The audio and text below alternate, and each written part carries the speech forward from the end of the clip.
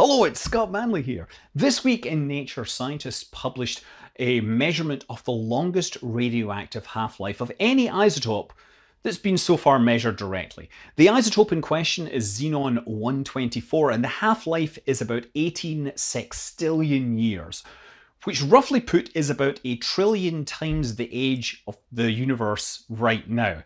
Uh, this is a really, really cool result, but it's actually the side effect because the detector which is under a mountain inside a giant tank of water and consists of about three and a half tons of xenon in a chamber with photosensors and a powerful electric field. That detector is actually looking for dark matter.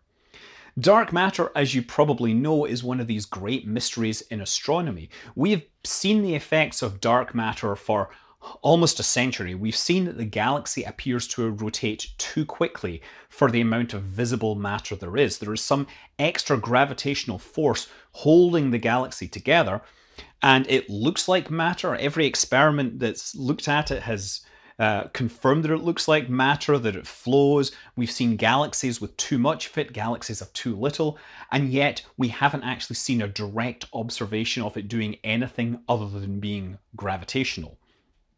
So of course there are lots of alter alternate theories here, let's be clear, and maybe one of these days a theory will come that will change the way gravity works and will explain the observations of dark matter, but so far most of the theories are garbage and have failed terribly. Uh, I will say that if you are looking at you know, theories of dark matter on the internet and the person claims that it also solves the Pioneer 10 anomaly, you should run away because the Pioneer 10 anomaly was solved a decade ago by completely normal things.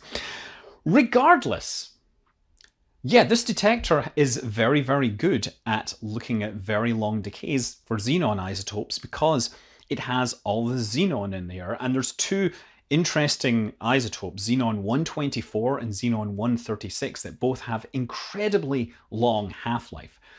And the reason they have this is because the decay mechanism they use isn't simple beta decay or uh, reverse inverse beta decay, it's double beta decay and double inverse beta decay. To understand why this is, I want to give you a quick, you know, very rough crash course on nuclear physics. So for radioactive decay to occur, the nuclei have to have a difference in the binding energy. And the binding energy is what holds the nucleus together. If you imagine you had two you know, magnets and you let them slam into each other, they become bound and that releases energy. They make a noise. Similarly, if you get a nucleon, a neutron into a nucleus, that generally takes energy, right? It takes energy out of the system or whatever. And you know, you can measure this binding energy. And in fact, you can measure this binding energy because of E equals mc squared. You measure the mass of the nucleus in a mass spectrometer and you see there's actually a mass discrepancy. Helium is about 0.7% lighter than the you know, two neutrons and two protons floating around in space. That's why when you take those two neutrons, two protons, and smash them together to make helium, you get energy out. It's nuclear fission, uh, fission, uh, fusion. But decays are going from one nuclear state to another and there's an energy release. And a really good example of how this might happen is beryllium 8. Now beryllium 8 is the isotope of beryllium which has the highest binding energy. It really is really well bound compared to the other isotopes, but it very neatly splits into two helium nuclei with even more binding energy on average, and that means that it has a half-life of about you know 56 attoseconds or something ridiculous. If you try to make beryllium-8 by slamming two helium atoms together, they, they get out of there really quick. And this actually, of course, is a big problem in stellar nucleosynthesis. It slows down helium fusion and you have to do get three helium nuclei together in what's called the triple alpha process. Um, so yeah, that's one example. That's a very, very strange decay. There's also another process where the number of neutrons and the number of protons in a nucleus have to be sort of balanced. They have to uh, sit in this stable region. Neutrons and protons will stick to each other pretty well, but neutrons don't stick to neutrons and protons don't really stick to protons That's a gross oversimplification, but that means that if you have a nucleus that has too many neutrons, it will try to turn some of those neutrons into protons, and if it has too few neutrons, it will try to convert some of the protons into neutrons. And it does this, well, there's actually two ways this happens. If it's really sitting out on the edges, it can actually just kick out the proton or the neutron directly. That's pretty rare, but most of them will decay via beta decay or inverse beta decay. So the neutron will spit out an electron and a, an electron neutrino or an antineutrino and become a proton. And similarly, it's possible for a proton to accept an electron to cancel out the charge and turn into a neutron. So that's uh, inverse beta decay, and beta decay is where you're shooting out an electron. Um, the other decay, by the way, is alpha decay, and that's where you have very large nuclei. So as the nuclei get larger and larger, the nuclear forces that hold them together are very, very short range. We're talking like 10 to the minus 15 meters. And as the nuclei gets bigger and bigger, the nuclear force isn't able to cross the entire nuclei. And as the nucleus gets really big, um, the Coulomb forces, the electrostatic repulsive forces, start to become more important and the nucleus starts to fall apart. Either you get spontaneous fission like you have in uh, uranium and plutonium, or it can just emit an alpha nuclei, uh, sorry, a helium nuclei, alpha particle. Helium nuclei are incredibly stable for their mass, and that's all down to magic numbers, which is not literally a word I'm making up. There's several magic numbers in nuclear stability, and two happens to be one of them. But yeah, in this case, for xenon, it would want to undergo um, it would want to under sorry xenon 124 would want to undergo electron capture. It would want to take one of its electrons and turn one of its protons into a neutron because xenon 124 is the lightest. At the other end, xenon 136 is heavy with neutrons. It wants to undergo beta decay. The problem is, in both these cases, if you look at the isotope that would be produced, um, xenon 124 would turn into iodine 124.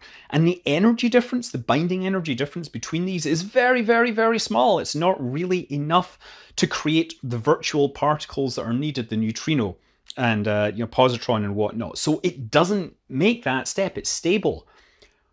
But iodine 124 can decay into tellurium 124 and it has lots of energy there. It's actually got enough energy to support multiple beta decays. So if if your xenon 124 could skip over the iodine and goes directly to tellurium by emitting two positrons or capturing two electrons, bang, it would work. It was observationally capable. But having two of these decays happen at exactly the same time makes it very, very slow because if one happens and then it doesn't work and then it falls back to its old state. So iodine decay to, you know, tellurium 124 takes, I think, order of days.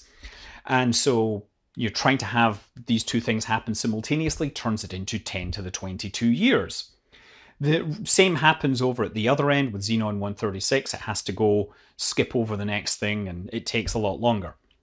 So that is the longest directly observed half-life.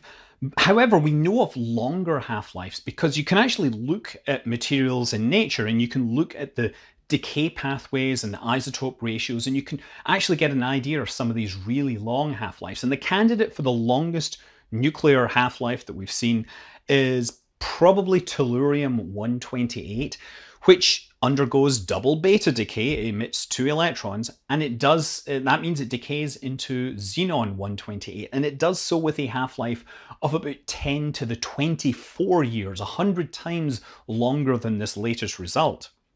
Now, these are all beta decays, they use the weak process. The longest uh, alpha decay process that's known so far is bismuth 209, which was actually thought to be stable up until 2003 when it was observed decaying.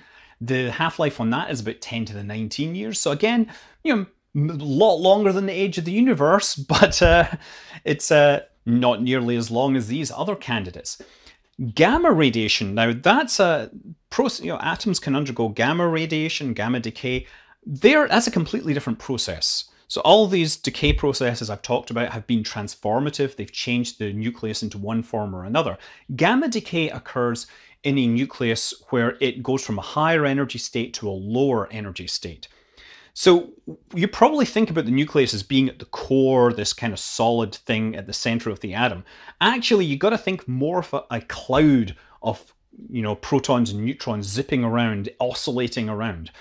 Just like electrons bouncing around the outside of the nucleus, being held in place by the electric field, the nucleons are also doing this. They're in these energetic states and they're bouncing around, so to speak.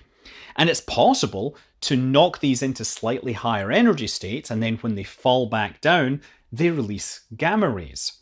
Now, the way a nucleus typically gets knocked into one of these high energy states is it undergoes radioactive decay from one element into another, and that leaves the nucleus behind with an excess of energy, which it then gets rid of by emitting gamma rays. A great example of this is cobalt 60, which decays into nickel 60. And after it does that, the nucleus is in a high energy state and it emits a couple of gamma ray photons, which is why cobalt 60 is used as a gamma ray emitter. Most gamma emission happens really, really fast. We're talking about 10 to the minus 12 seconds. But there's a few cases where it takes a lot longer, and these are called metastable atoms. So when you knock one of these nucleons up into a higher energy state, it can change the angular momentum, the orbital angular momentum inside the nucleus. And that means that when the thing decays to the lower energy state, it has to get rid of this angular momentum and reach the ground state angular momentum. And that means the photon has to carry it, but the photon normally only inherits one unit of angular momentum. There are other ways to give it more but these decay methods mechanisms are slower. So when you have an excited atom with extra orbital angular momentum, it slows down the gamma decay. It also actually slows down the beta decay because the beta decay also has to kind of conserve this angular momentum. And there's one really pathological case. It's called tantalum 180M. And in this case, the excited state has to get rid of eight units of angular momentum. So for every extra unit of angular momentum you have to get rid of, it suppresses the decay rate by about a factor of 10 to the power 5, 100,000. So getting rid of all that really slows down the decay process. And in fact, we know that it shouldn't be stable, but no one has ever observed tantalum 180M decaying. Uh, so this actually makes it the rarest primordial isotope. For extra bonus points, scientists haven't actually figured out how to make it in a lab. They have figured out that you can cause it to decay by hitting it with gamma rays, but they haven't figured out how to actually make it get into that state in the first place.